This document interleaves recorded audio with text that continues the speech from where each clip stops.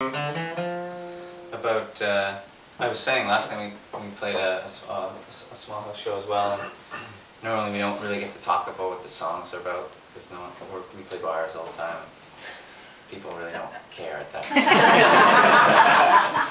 so it's nice that the odd time to talk about it. Well, this is a song that uh, a few years back, about five or six years ago, uh, I came home from a lot of touring, and the girl I was living with at the time uh, had found a new apartment. And decided not to, not to live there anymore. Anyway, so